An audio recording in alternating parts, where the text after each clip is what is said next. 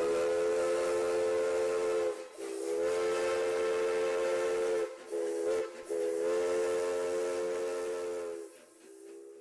Good evening, everyone. My name is Joe Geller, and I'm the uh, Chair of the Topsfield Rail Trail Committee. And uh, we are having a two-part program this evening, Uh, and we're indebted to Joan Canella for helping to set this up, and to Bill Whiting uh, for uh, providing the uh, local access, the Topsfield uh, cable channel, to videotape uh, the uh, presentation tonight. Here comes Bill. Uh, So we'll be uh, looking at, or hearing about railroad history, and then we'll be, we have a short video of trains coming into Topsfield. And then at 8:30, we're going to have a presentation of the uh, initial design for Phase Two of the Topsfield Linear Common, which goes from Summer Street down at the end of the parking lot by St. Rose Church, over to Route One. Uh, We're really, really fortunate tonight to have uh, Richard Sims from the Beverly Historical Society with us. And uh, I don't have a uh, curriculum vitae from Richard, but I'm sure he'll be able to fill you in with uh, what his background and experience is. But needless to say, Richard is one very knowledgeable person about uh, the Newburyport branch of the of the railroad. So, Without further ado, Richard. Thank you, Joe. Good evening, everybody. Um, As far as the Beverly Historical Society is concerned, they have a marvelous transportation collection called the Walker Transportation Collection that was left to them in 1969. And they've had it all these years. It's gotten much bigger than it was when it came to them. And uh, the current curator is here today and uh, sitting in the audience with us. And I used to be for 40 years, but I finally stepped down and enough was enough. But anyway, a lot of the pictures, uh, the older ones in particular that are here this evening, came from the files of the Walker collection. So if you want to see a whole lot of train pictures and everything else that ever moved in New England, uh, go down to the Beverly Historical Society on a Wednesday evening, and they're open until 10 o'clock, and they'll be happy to help you out. Um, We thought we'd do this, uh, one thing we're looking for, and I can't emphasize this enough, is pictures of trains in Topsfield. I mean, the trains were here for over 100 years, and basically what you see on these panels around the room are all the pictures that there are of trains here in Topsfield. And that's kind of sad, and a lot of those are fairly recent. Uh, You see a lot of diesel pictures here, so those were taken in the 1960s and and the early 70s. What few steam pictures are here were taken mostly in the 1930s and 40s, and there's just a handful of those, thanks to two people, basically, that came up here, uh, Al Hale and Howard Moulton, and they both since passed away. But those pictures are pretty much all that we have. Uh, There's one older picture, this one right here, and this was taken according to the book that it came from, approximately 1872. So you go from 1854 to 1872, there's no pictures whatsoever. Then you have this very poor reproduction from a book. I've never seen the original to that. It's all washed out in here, you really can't see much of it. Then it jumps to 1938, that's the next picture we have. And there's a few more in the 30s, some in the 40s, and as I say, these diesel pictures here. So we're looking for pictures in the 1800s especially, uh, 1880s, 1890s, early years of the 20th century. Somebody must have a picture of of Aunt Martha getting off the train, or or Cousin Joe going to war, or something. I mean, it's got to be pictures, so if you know anybody that that has lived here for ages, have them look through their their trunks and their attic and their scrapbooks and all that sort of thing, and see if we can't dig up a few more, because it's just pathetic that that's all there is to show for 123 years of railroad service here. Um, That gets us a little off topic, but anyway, very important. Who here in this audience remembers the trains here in Topsfield? All right, about half. How many of you have actually ridden trains in Topsfield? All right, in what capacity? Passenger? Back before the last train ran or or after the, No, when I was, when I was a child, uh, we lived in Beverly over near the Danvers line. My father said, we're going to the top, we didn't have a car. Mhm. So we're going to the Topsfield Fair. Ah. So we walked over to Danvers, got the train. Right. Train stopped along that uh, northern gate. Right? and let us out. And then we, then the train came back, I think it was a special some sort, because it was there fairly late. Right. they, I always thought that it was a shame that they didn't make more use of the railroad to bring people to the fair, because it's right there. I mean, Oh, I. Walk it. a Oh, hundred it's yards and you're in there. that. Yeah. I mean, it couldn't have been more convenient, but Because this is back in the nineteen thirties. sure.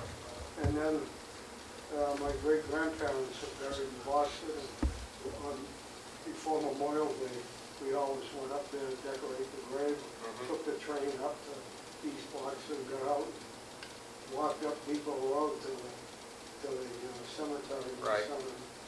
And uh, after we finished, uh, we walked back and hit the train for Newburyport, it was coming, I guess it was the next train.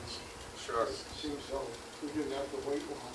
right, and this, this, right. yeah. Did anybody here ever ride a freight train? All right. All right, you went up and asked the crew, and said, could I ride in the cab, or could I ride in the caboose? And, yeah, we did that for Danvers a couple of times, which produced some of those pictures over there. All the kids used to go to, go to Danvers and go to the movies, they'd ride home on the ten o'clock break. Okay, yeah. Jump the break, ride home on it. Right, right. Well, some of us then have had some personal experiences with the trains here, and that's a good thing. And they've been going all this time, since 1977, so as time goes on, fewer people are going to be remembering what it was like. People are going to pass away, unfortunately. And so, you know, we depend on things like the tape that we're going to show later, and talks like this and these pictures to bring this to a generation that's coming along that never saw the trains here. So I think that's why it's important, so I'd be all for having a follow-up. As Joe mentioned, I think it's, it's critical to get as much down as we can from the people that remember it while they're still here. You know, you were saying about the fairgrounds, I think every year they ran a special for the fairgrounds. Up until about when? Because I never remember. Up until about forty-seven or Okay. forty-eight, Yeah, uh, because the last one, they took it uptown, after they dumped everybody off down in the fairgrounds, they took it uptown and the thing to rail. great.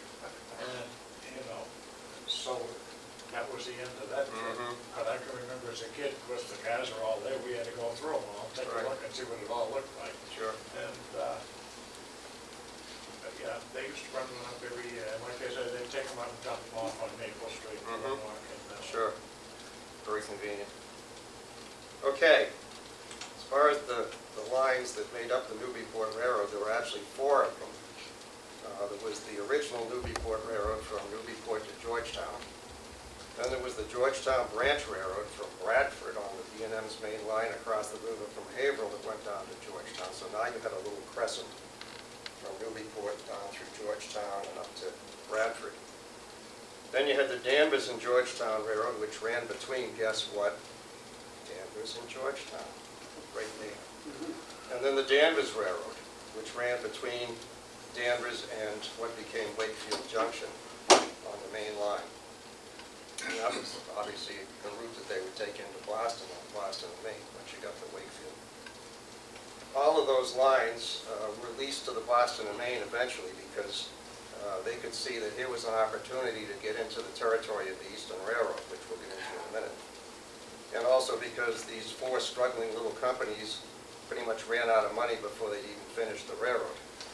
Stock subscriptions were not what they had hoped they would be, and so they were so in debt that uh, the B and M actually stepped in and awarded them some loans so that they could finish building the railroad. The Eastern Railroad had built through from Boston to Portsmouth around 1841, and they went right through Newburyport. This is the current line today, which is the commuter rail that goes to Newburyport, but back then it went all the way through to Portsmouth and then on through to Portland, Maine, and points even north of that. And so from 1841, you had pretty good train service into Boston from Newburyport, but some of the folks in Newburyport, especially the businessmen, weren't too happy because the Eastern was kind of raking them over the coals for the rates they were charging. So they were dissatisfied, and they started to look around to see if there wasn't some other way to get into Boston with their goods. And after a few meetings, they decided to try and charter a line. It would take them first to Georgetown and then over into Bradford where they could meet up with the B and M. They'd also have a line from there to Lawrence with all its mills and and factories. So that was the first beginnings of of having another line competing with Railroad, and that was called the Newburyport Railroad. The Georgetown Branch Railroad was chartered on March 11, 1844, to run from Bradford to Georgetown Corner. I'm assuming Georgetown Corner is Georgetown, the center of what it is today as we know it. I've never heard anything called Georgetown Corner, but we assume it's right there in the middle of Georgetown. Two years later, the Newburyport Railroad was chartered to run from Newburyport to Georgetown Corner. So now, as I say, you have this crescent. Neither line was begun until three years later, though, and that was uh, February 15, 1849, when they actually broke ground to begin working on these two lines. As I said, support was lacking, even though the newspapers were behind this right from the get-go. Uh, They wanted uh, as many people to sign up for stock subscriptions as they could get, and the newspapers supported them, and several editorials came right out and said, you know, we've got to get behind this, folks, this is a way to, to make our towns more prosperous. But the old Yankee farmers weren't about to part with any bucks if they didn't have to, and they kept passing that hat around, and the hat kept coming back empty. They weren't able to sell much in the way of stock subscriptions, and as I said, they didn't even have enough money to finish the lines uh, when they started out, and when it came time to purchase rail, which at that time, most rail came from England, it was imported because it was a higher quality steel, and there was no money to pay for it. This is great, now you've got a right-of-way all graded, you're all ready to go, no rail. So that's when the the Boston and Maine, who've been watching all this very closely, said, you know, we'll step in and we'll, we'll give you some money to get the rail and get this thing together, and and then we'll talk. So they were able to get it together and get it finished. Regular service from Newburyport to Georgetown began on Thursday, May 23rd, 1850. And the line to Bradford uh, from Georgetown was not completed until a year later in 1851. The entire route was about 15 miles and had cost a total of $225,000, uh, which worked out to about $15,000 a mile. Doesn't sound like a whole lot today, but it was big bucks back in the 1850s. Not two months had gone by when they had their first accident, and that happened on July 18th, 1850, when a train struck a cow and derailed, and in so doing, the conductor, Benjamin Hilliard, uh, seeing that uh, the train was about to tip over, or he thought it was going to, leaped off the platform of the first coach into the bucket brush, but unfortunately, the car derailed and then ran over him. So he was killed. But he was the first fatality. And again, this was just barely two months after the line opened. Conditions were very primitive. Uh, You know, railroading was a, was a a work in progress back then. And early locomotives especially were not like this one. Uh, They were very crude. They burned wood, and that wood uh, had to be sawed to two-foot lengths so it could be pitched into the firebox. And it used hundreds and hundreds of cords a year. And these had to be cut continuously, the trees harvested, cut, stacked in cords, and and usually in wood sheds. And these were kept in various stations along the line so that at any point the train could stop and wood up. And quite often in those days, they would get all the passengers off the train to help throw wood up onto the tender, because it took 20 minutes or more to fill the tender full of wood. Because they pile it way up high, higher than the cab roof, because it used so much wood. Wood does not generate nearly the heat that coal does. Brakes on the locomotives were, were- never worked very well, they're very crude. Usually it involved simply uh, tightening the handbrake on the tender on these early locomotives. And at the same time, the engineer would whistle a certain signal for the brakeman on the train to turn down the brake wheels on the coaches or on the freight cars behind the engine, and eventually this whole contraption would slow to a stop, hopefully. And uh, in emergencies, if they really had to stop fast, the engineer might pull back the reverse lever and give it a little throttle and and make the wheels spin backwards a little bit. That would help to slow it down some, but not much. So stopping took a good half mile in the best of circumstances. So an emergency like something on the track was, you know, forget it. Livestock wandered onto the track at will, and pedestrians almost as often because there were no fences along the right-of-way in the early days. And cows were struck regularly, sometimes two or three in a trip. And even though they'd been seen a half a mile ahead, by the time they got the brakes on and got stopped, they'd usually banged into the poor thing. And this is where cow catchers came from. You had those wooden stave pilots that stuck way out in front of the engine. This one has a, a much smaller version of that. As they evolved later on, they got basically just a knock rocks and things off the track. But in the early days, they were great long pointed affairs made out of wooden staves. And they were called by the people cow catchers because that's basically what they did was knock cows off the track before they went under the wheels and derailed the engine. The real name for that is a pilot, which has no relationship to what they're supposed to do, but anyway, that's, that's the real name of those things. Um, In addition to livestock and people wandering on the track, you had washouts after sudden rains, tree branches that fell off of of trees overhead, uh, broken rails were not unknown. Uh, All these were routine hazards of of these early operations. In the first year of operation, the line carried 31,850 passengers. Now, that's amazing. Think of this territory today, and imagine what the population was like and how how rural it was then. And they carried 31,850 passengers that first year. There's no record of how much freight was carried that first year, but since they really weren't uh, connected to the the rest of the line except that little piece into Bradford, uh, there probably wasn't a whole lot of freight carried at that point because you just had a couple of shoe factories up in Georgetown. And that was about the limit to the freight that was coming and going. So that first year wasn't a big year for freight. 31,850 passengers, that's a lot of folks. At this point, the Danvers and Georgetown Railroad was chartered to connect this, this uh, crescent, as we have it, to go south. And this was to operate down uh, via uh, Boxford and into Topsfield, and eventually down to Danvers. Connection at Danvers would be made with the Danvers Railroad, as we mentioned, and that was to build from there out to what became Wakefield Junction in Wakefield, and there uh, you'd have the connection into Boston, uh, directly over to Boston and Maine.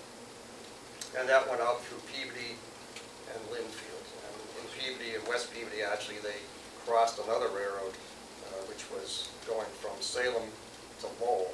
And in Danvers, you crossed another line, which was going from Salem to Lawrence. So you had all these interconnected things when it got down there.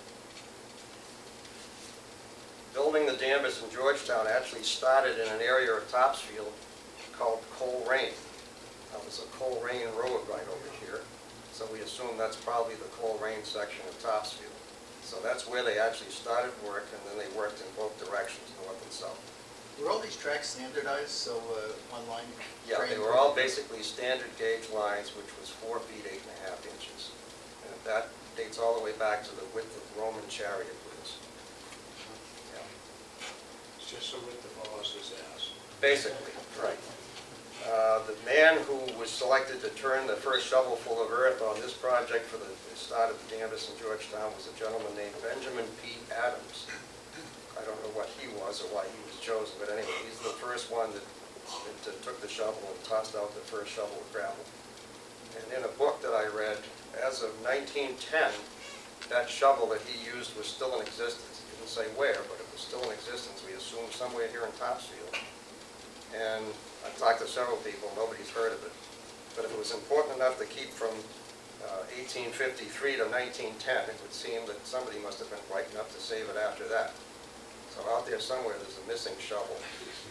So keep your eye out. It's probably marked on the handle or something. Um, Irishmen were used to do the grading. There were a whole bunch of them brought in, and they had 50 wooden two-wheel tip carts uh, to move gravel with. There was no power equipment of any kind. There were no steam shovels or anything. This was all done by hand. If you walk along the the trail out here or any of the rest of it, you'll notice there's a lot of embankments that are pretty steep and pretty high. And there's some cuts involved, especially down just north of Putnamville. All this was done by hand. I can't even imagine the work it took to fill in that Wenham swamp. With just men with tip carts and horses. Unbelievable, and it took place in less than two years. You know, it all done, just amazing. As work began on the grading, uh, there was a gentleman along the the right-of-way, and uh, he didn't like the coming of the railroad. He thought this was, this was a terrible thing to happen to this rural neighborhood. And he lived right next to it, and one day he thought, well, you know what, I'm gonna make a statement. So he went out one day, bright and early in the morning, and got in front of the graders, and he sat down right in the middle of the right-of-way. He was a big man, he was well over 200 pounds. Folded his arms and sat there and defied them to come past. Well, the head of the grading gang was a gentleman named Mead, and he proved to be up to the task, and he walked over and tried to reason with the gentleman. He wasn't having any of it, so Mr. Mead walked around behind him, picked him up under the arms, lifted him off the ground, deposited him over the fence back onto his own property, and the work went on. So, you had disgruntled folks that, that uh, tried to stop or slow down the work. The Irish workers, uh, first of all, lived upstairs in the Topsfield Range, uh, and then as work progressed in both directions, uh, they actually built shanties along the line and uh, lived in those as as they went on. One of the the Irishmen supposedly was murdered here in town.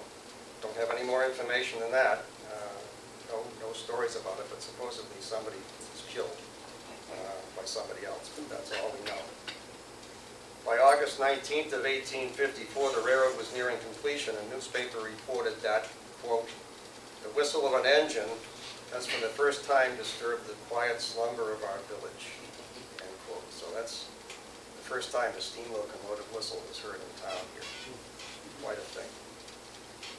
By August 31st of 1854, enough of the line was complete that a special train was run and it took a, a bunch of people, 150 of them actually, on a picnic uh, to Little's Grove up in Georgetown. Does anybody know if there's still a Little's Grove in Georgetown? That sound familiar? Guess not. Anyway, that's where they went. Uh, Mr. Warren Nichols was the engineer, and he worked for that line for many years. Uh, Another early engineer was a gentleman named Ellis Dorman, D-O-R-M-A-N. And the locomotive used in construction of the line was named Baldpate, and uh, it probably was also used on this uh, excursion train, this picnic special, because it would probably have been the only engine they had at that point. The entire line was opened to Wakefield on September 1st, 1854. In other words, it was complete, but actual service didn't start until October 23rd of that year. And a trip from Boston to Newburyport by this route uh, took an hour and 34 minutes, according to the early timetable. And that's opposed to uh, roughly an hour and 15 minutes if you went down the eastern railroad out here along the coast. So it was a little slower, but not that much, not really. And initially, four passenger trains ran each way every day except Sundays, and there were no trains on Sundays because you were supposed to be in church. So there were no trains run on Sundays, freight or passenger. The first bridge over the Ipswich River down here uh, was washed out by a storm in February of 1855, and that shut the railroad down for almost a month while they replaced it. And uh, I should mention that neither that bridge that washed out or the one that replaced it is the one that's there now. That's a much later bridge that probably came in the early days of this century. Topsfield was also a water stop, and by that we mean a place where locomotives could take on water because they used huge amounts of water to generate steam, more water than fuel actually. So at many places along the way, they would have water tanks. And the one here in Topsfield was supplied by a spring from Price's Hill. Does anybody know where Price's Hill is? Yeah, I know where the well is.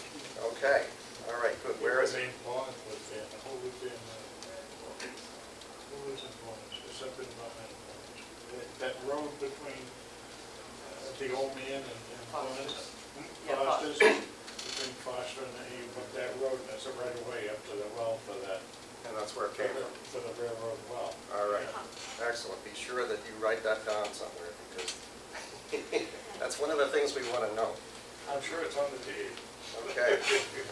Anyhow, this was a place where they stopped for water, and towns which had water tanks where trains stopped for water became known as tank towns. Okay? They were also known as jerkwater towns, and both of those became derogatory terms because of like a low-class part of town. And jerkwater simply meant when you stopped under the water tank, there was a big metal spout. You pulled that down into the, the hatch on the back of the tender where the water went, and then you pulled a chain to open the valve to let the water out, so you were jerking water out of that tank. So jerk water and tank towns became synonymous with, eh, don't want to live down there, that's a bad place to be. We talked about a couple of the early crewmen. Uh, There was a conductor also named John W. Pillsbury, another named Batchelder, a gentleman named Joe White was an early brakeman, and uh, William Smith was an engineer, James Carey was a fireman.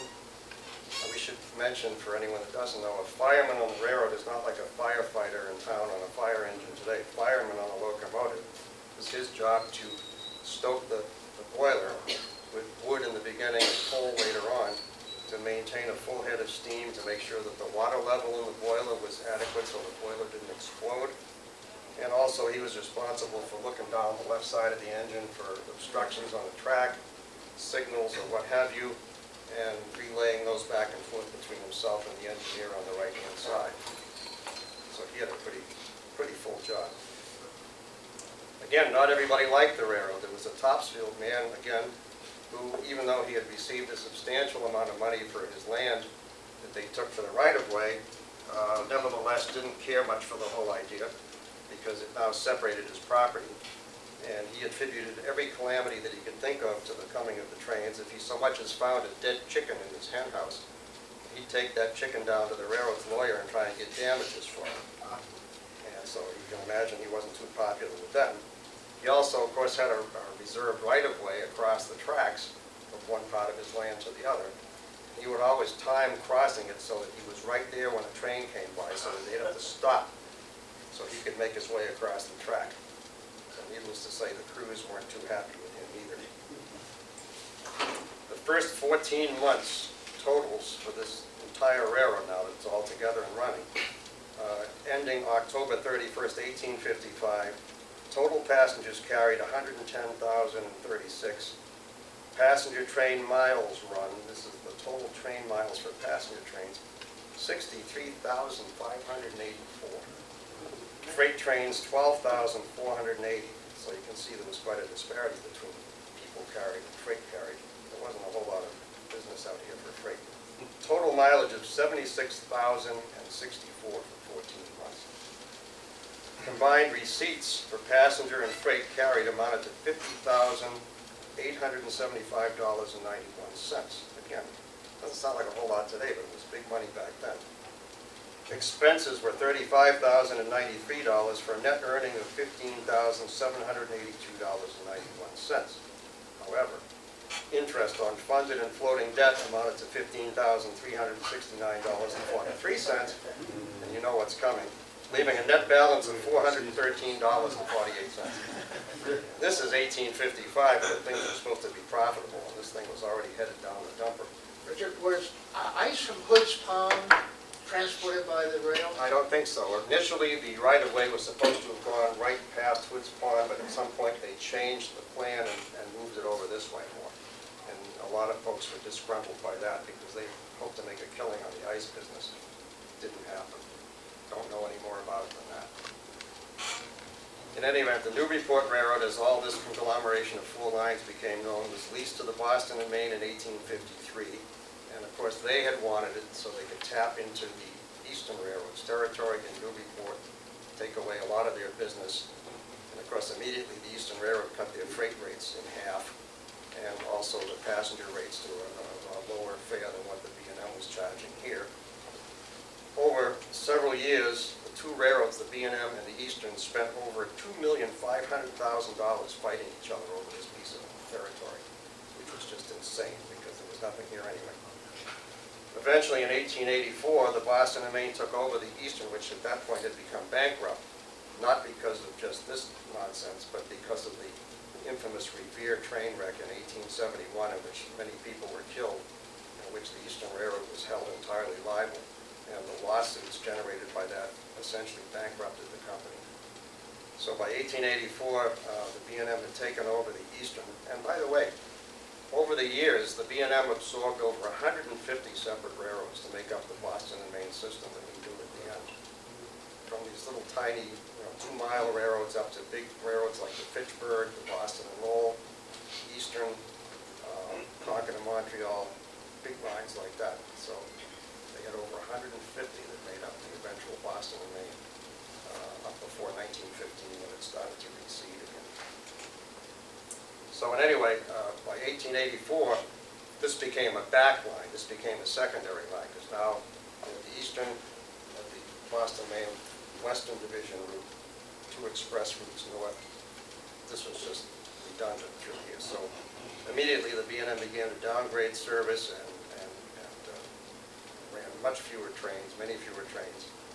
And by September 28, 1906, they issued $306,000 in bonds to acquire title to the Newburyport Railroad outright, which then ceased to exist as a separate company. As time went on in the, in the 20th century, they kept going to the regulatory bodies trying to abandon service on this line because it was just costing them an arm and a leg, and there was just no business. Eventually, they allowed them to uh, cut back the line from Newburyport to Topsfield, and the last train to run all the way through uh, ran on December 13, 1941. Uh, Mogul-type engine like this one here, uh, number 1464 was the engine used. It was just like the 5 o'clock commuter train out of Boston. There was no special thing. There were a few people got on just to say they'd ridden it, but there was no hoopla or no fanfare. It tied up at Newburyport, and that was the end of it. Uh, Timothy Hawks of Danvers was the engineer on that particular run. Um, The rails were torn up back to Topsfield, and uh, the line to Bradford, which came down into Georgetown from up up there and ran through Groveland, had actually been severed some four years earlier because of flood damage, which washed out a bridge uh, up in the western area of Groveland. So that line had already been severed. However, they maintained freight from Bradford down to the, what became the Haverhill Box Board Company. That continued for three quarters of a mile or whatever it was down into there and just below Haverhill Bridge. And that service actually continued into the 1960s when they finally switched over to trucks. Passenger trains continued to run to Topsfield uh, until after World War II, and then that was cut back to Danvers. And uh, the service to Danvers ended in 1958. So at that point, if you wanted to go to Boston by train, you had to drive to Salem, or you had to drive to Beverly and get the train there, that was the end of it. Freight service, however, continued on, and uh, they went up to the, the end of the track here in town. There was a siding there, and a freight house, and uh, the co-op had several boxcars of of grain and hay and whatever delivered every week. And in the last days, you had a uh, Pyrofax gas facility over here on Route 1. And they no sooner than put that in, it seems, than next thing you know, that was the end of the railroad, so all that for nothing.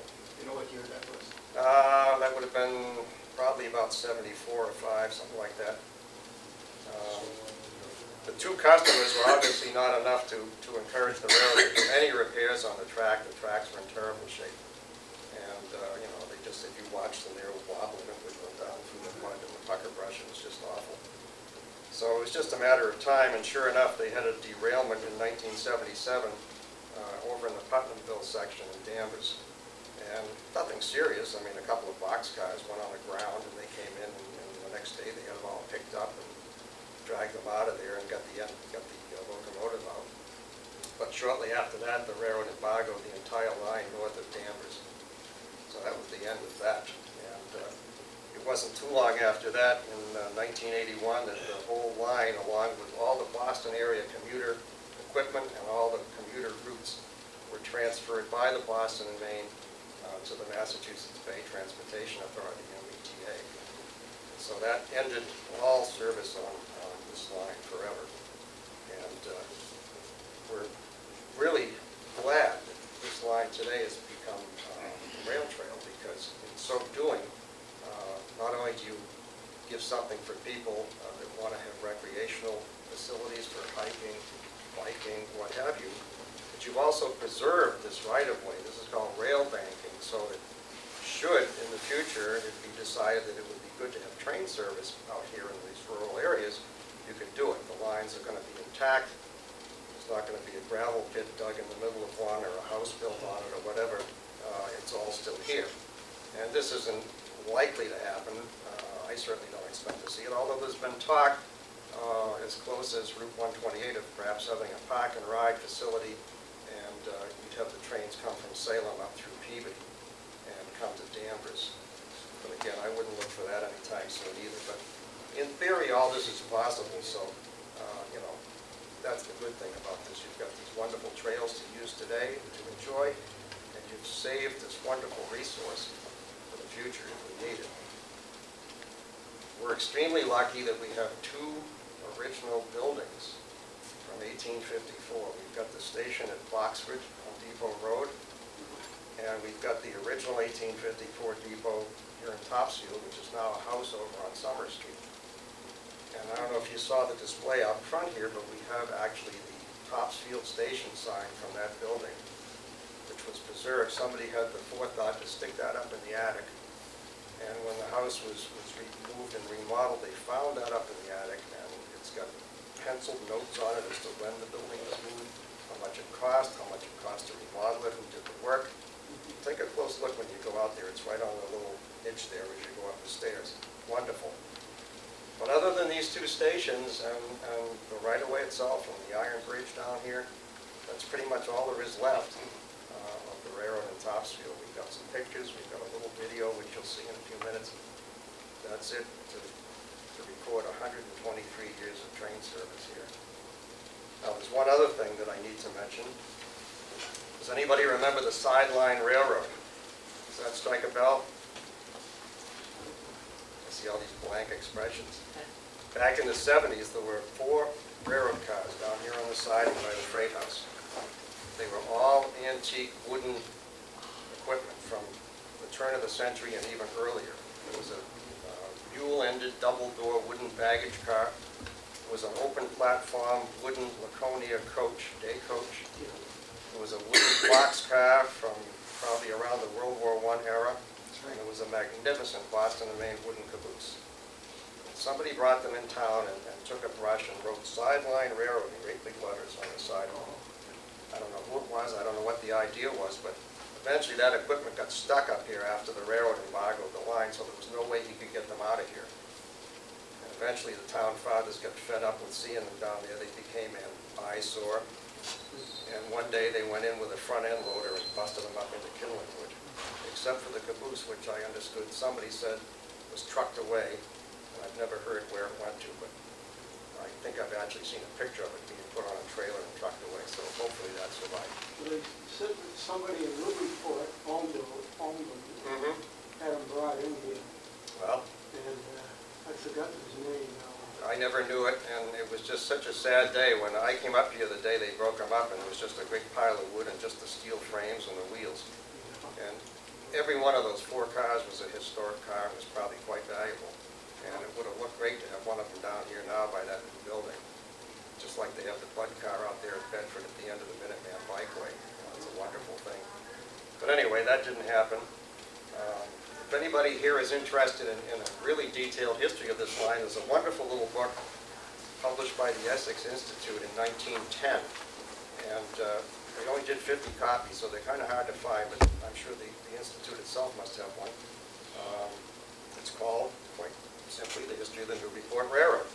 And it was written by a gentleman named Henry Follansbee Long, who lived here in town, in fact, is uh, buried up on the hill over here in the cemetery. He's up near the top, if you go over there, you can find his stone. And he lived from 1883 to 1956, and I think this may have been a paper for college or something, because he would have been about the right age in 1910. And it gives the entire history, blow by blow, every bit of thing you'd ever want to know about this line, and it- it's, again, something published as the historic collections of the Essex Institute. But there were only 50 copies done. Uh, the Historical Society has a copy. Wonderful. So now you know where to go if you want to see it. It's a marvelous little book. I have one. Big little book, five by eight, paperback. Wonderful book. But anyway, that gives you about as much information as there is out there uh, on the report. So, with that in mind, do we have any questions? What is a whistle stop too? The whistle post? Whistle post. Yeah, it would be a cement post with a W in it, and that's to tell the engineer that there's a grade crossing coming up, and he needs to blow the two long, the short and the long for the grade crossing. That is also some posts on railroads that say R, and that means ring the bell. If you're not gonna blow the whistle, sometimes they just had the bell ring when you went over a street. So what do you see an R? What did you say, the one that has the metal sign that's at a canted at an angle? No, that's a a flanger marker. In other words, it tells the crew of a snowplow that there's a street crossing or a switch or something coming up. The the rails or the highway is up level with the railhead. And the flanger came down, it was a blade that came down between the rails to cut out all the ice and everything so that the flanges of the wheels wouldn't ride up and derail. All plows have those down underneath the center of the, the snowplow car itself. Well, you didn't want that hanging down under there when you came to a road crossing, because you'd rip the thing out and possibly tear the blade off the flanger and derail the whole business. So they had this black metal pole with a yellow flag, piece of metal on it at an angle, and that yellow flag had two black dots on it. And whenever you saw that, you cranked up the mechanism and got that thing up above the railhead, so you wouldn't tear out the crossing or tear out a switch or derail the equipment on all three. That's what that was for. There's a couple of those out here. So those should all be preserved if possible and restored, because that's all part of the deal. There's also a derailing shoe Yep, over by Amerigas. Yep, yep, so that the car, if it got loose, wouldn't run out onto the main line. Yeah, I noticed that over there. Again, if you, if down the road, you could put some kind of a little marker there explaining what these things are, it'd be wonderful. It's private property, so we have to. talk Well, about I'm sure you can talk to those folks, good folks, yeah. Anybody else? Yes? You mentioned Rails Trail would preserve the bed Mm-hmm. for possibly future uh, commuter service. Mm-hmm. Who would be interested, if it wasn't done, the Rails Trail, in the railroad bed itself? Nobody, right? Well, lots of times you get a butters who want to use the railroad for their own purposes. Uh, the line that comes down from Bradford down to the, what used to be the boxboard company up there along the Merrimack, um, there's a big cement block building built right across the right-of-way. Just plunked right down there. I don't know how they arranged that, but in any event, it's built right smack dab across the middle of it, so you couldn't put that back if you wanted to. But it wasn't their property, it's the railroad bed's pro- We, railroad. we don't know how that happened. Yeah, Anyone else? Okay, well, I thank you for your interest, and it's been fun being here, and uh, again, this locomotive, if you want to take a look at it before you go home tonight, uh, we had this loaned to us from the Beverly Historical Society. Yep, and this uh, particular model was scratch-built by a gentleman in Byfield named Charles Purinton, and uh, he was a machinist, and he built this locomotive about 25 or 30 years ago. And it's more than just a pretty engine, it actually runs, it run- burns coal, uh, runs on about 100 pounds steam pressure, it will pull three or four people, and uh, it's it's really the the real thing just shrunken down, like you took a magic wand and and there it is, at three quarters of an inch to the foot scale. So be sure and take a close look at that tonight.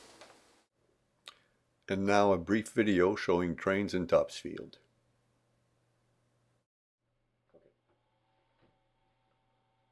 Okay, here we are going to see a very brief film of excursion train and a Department of Public Utilities train in Topsfield in 1969 and 1973.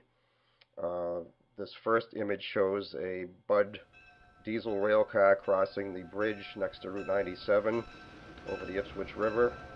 Again, this is a Department of Public Utilities trip which was done every year to inspect the various branch lines uh, it carried a few officials, and that was about it. And if you were lucky enough to find out when these things ran, uh, you could actually go and see them, and that's what I did. I took a day off from work to do this. And here again, we see the same Bud car, uh, number 6212, uh, crossing the Route 97 crossing uh, just above the Ipswich River Bridge. And here it is coming into the yard along Park Street in downtown Topsfield. Here we're next to the siding at the very end of the line looking across South Main Street. Oh, car zipping right across, totally oblivious to the fact there's a train coming, although he's not actually going to cross the street, but they didn't know that. And here we see the conductor and the engineer having a brief chat while they're stopped here, uh, right at South Main Street crossing. And just looking up the street, uh, you can see the building in the background here where the post office is today on Main Street. And uh, again, uh, this is RDC Rail Diesel Car number 6212, which was a car that was often used for these trips because it had a small galley in the baggage section. Uh, here they are leaving town, leaving along the rail yard uh, next to Park Street and uh, crossing Route 1 and they would stop here and activate the crossing flashers and taking no chances, uh, the the brakeman would also get out and flag the crossing as well. People weren't used to seeing that many trains here, so this was an extra safety precaution.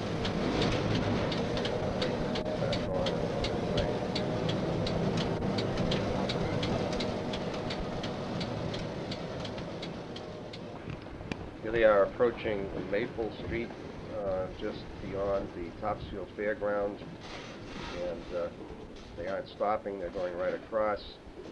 And there's a delightful sequence right here of a couple of kids in their backyard seeing this train and, and being so excited to see it.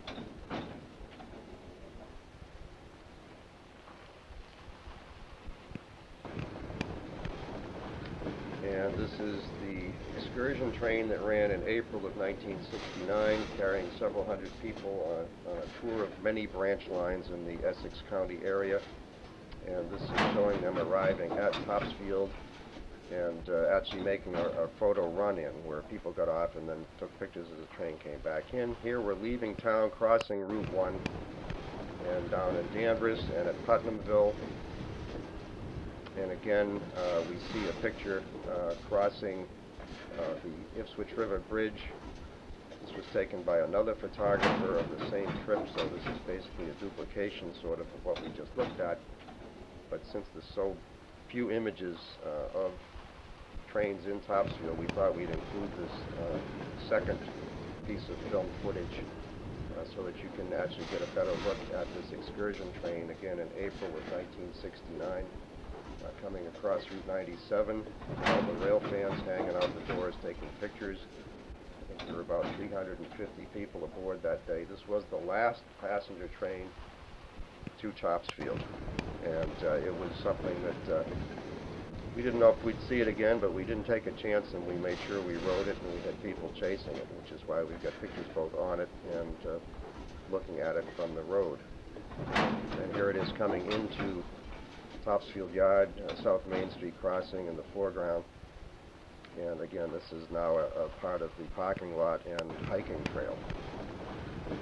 And here they are leaving town again, crossing Route 1, going southbound, uh, headed for Maple Street.